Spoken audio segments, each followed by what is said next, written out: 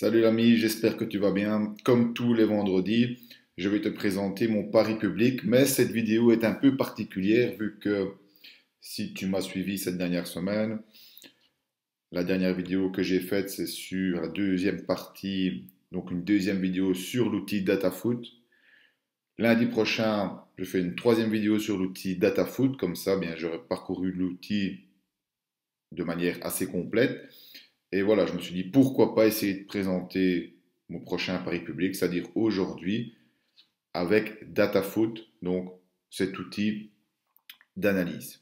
Donc c'est un peu aussi un challenge pour moi vu que tu sais bien que j'utilise toujours le logiciel, l'outil GoProfit, donc je suis super habitué à faire mes analyses avec. Donc faire mon analyse et tenter de trouver un pari avec un nouvel outil, c'était aussi pour moi un challenge vu que évidemment il faut un peu adapter sa routine d'analyse, hein, vu qu'on n'a pas, soit on n'a pas les mêmes infos, soit c'est pas présenté de la même manière.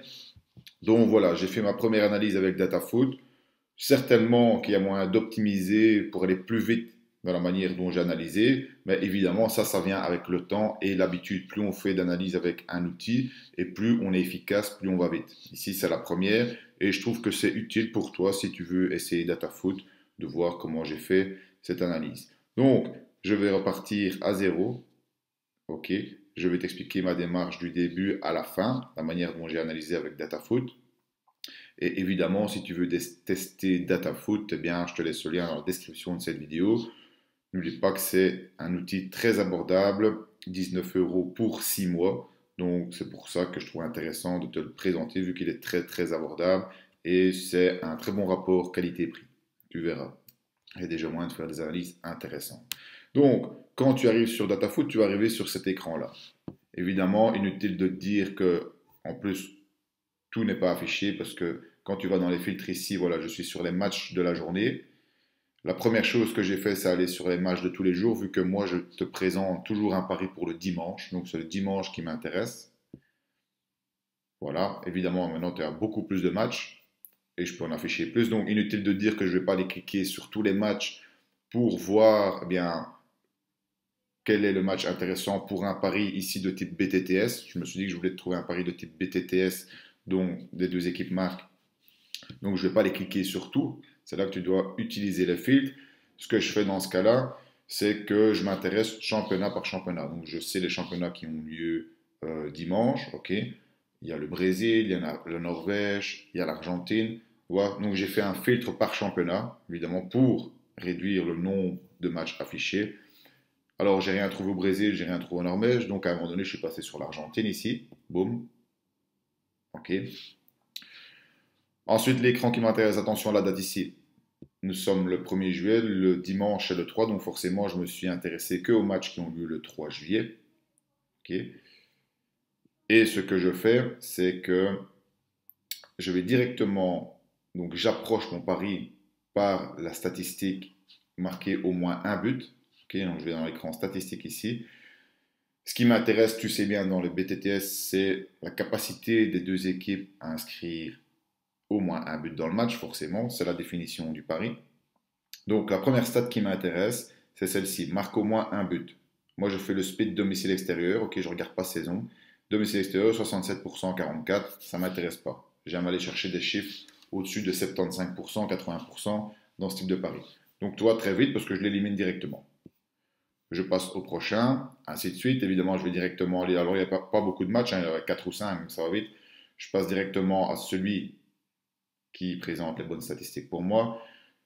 Donc, attention, les onglets ici. D'abord, tu es sur prédiction. Là, tu vois les cotes intéressants. Hein, les cotes 1x2. Moi, j'aime toujours voir si ce sont des équipes de même niveau, s'il y a un énorme favori. Mais ça, voilà. Je t'ai déjà fait d'autres vidéos pour, pour t'expliquer cela sur le Paris VTTS. Ici, on a deux équipes de même niveau, à 2,36 et 3,19, c'est le même niveau, plus ou moins.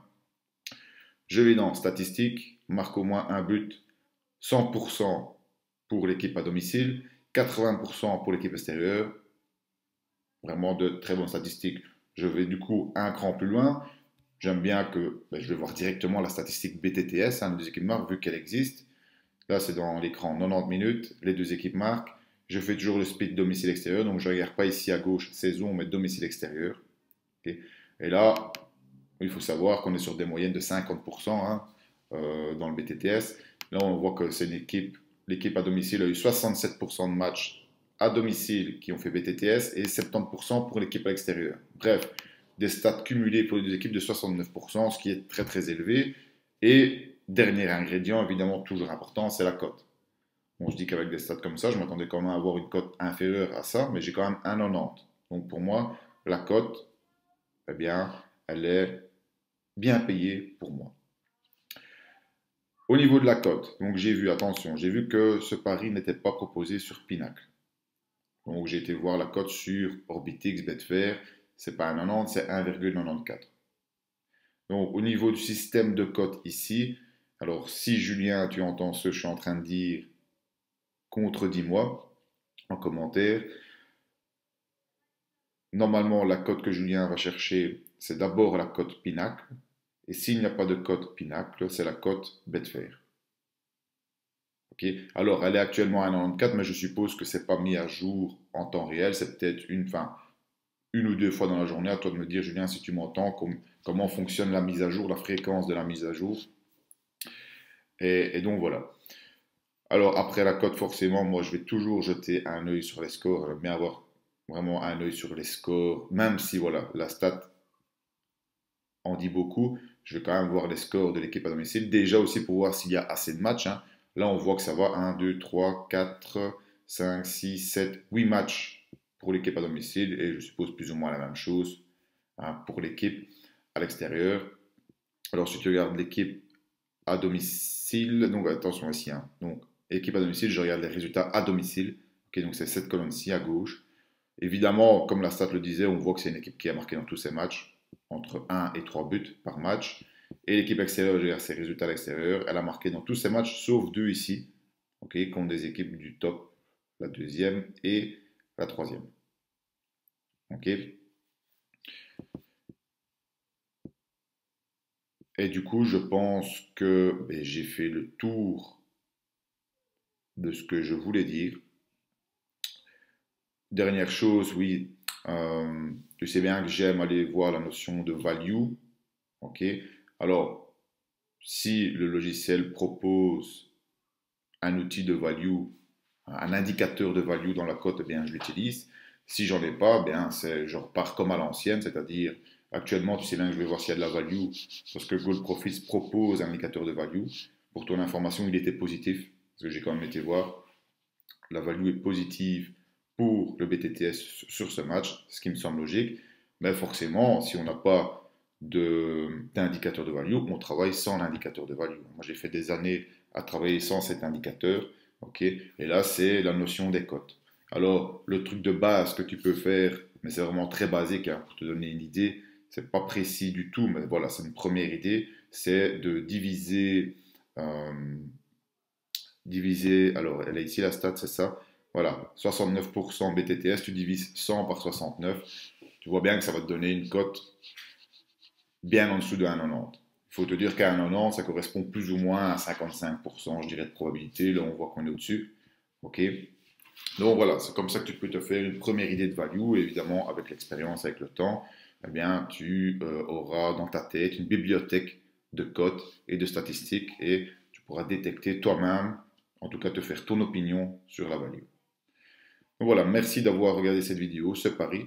N'oublie pas que je te laisse dans la description de cette vidéo le lien DataFoot si tu veux essayer. Outil très abordable, tu vois qu'il est déjà possible de faire des analyses intéressantes avec cet outil. C'est d'ailleurs pour ça que je te le présente, sinon je ne te le présenterai pas.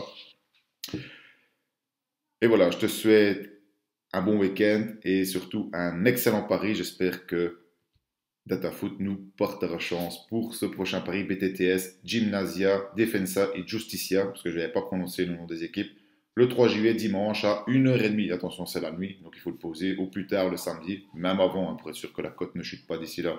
Merci, à bientôt l'ami.